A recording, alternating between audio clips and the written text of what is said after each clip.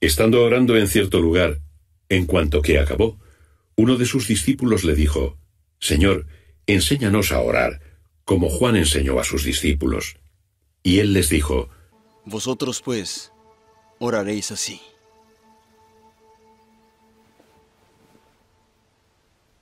Padre nuestro, que estás en los cielos, santificado sea tu nombre, venga tu reino, hágase tu voluntad como en el cielo, así también en la tierra. Danos hoy el pan nuestro de cada día. Y perdona nuestras deudas como también nosotros perdonamos a nuestros deudores. Y no nos metas en tentación, mas líbranos del mal. Porque tuyo es el reino, y el poder, y la gloria por todos los siglos.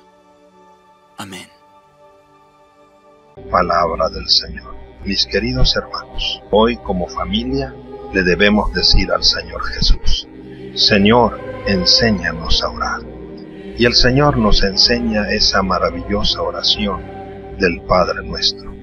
La oración del Padre nuestro encierra ese dinamismo del corazón del hombre, que por una parte tiene que dirigirse hacia lo alto, hacia nuestro Padre Dios, y por otra parte tiene que abrir sus ojos, su corazón y sus brazos hacia el hermano que está al lado.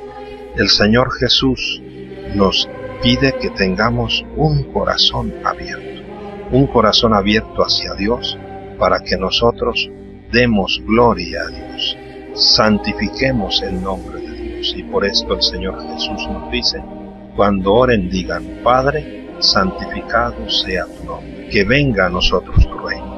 Decir que venga a nosotros tu reino quiere decir que se haga su voluntad en nuestra vida. Por esto decimos, venga tu reino. También danos hoy nuestro pan de cada día.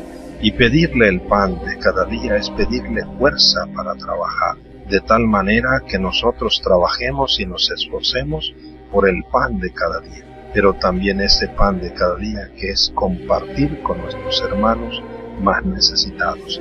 Y también le decimos, perdona nuestras ofensas, porque reconocemos nuestra debilidad y es por la reconciliación con el hermano que nosotros expresamos el perdón que Dios nos ha dado. Y por esto le decimos que nos perdone así como también nosotros perdonamos a aquel que nos ofende. Mis queridos hermanos, el perdón de Dios tiene que expresarse también en el perdón al hermano.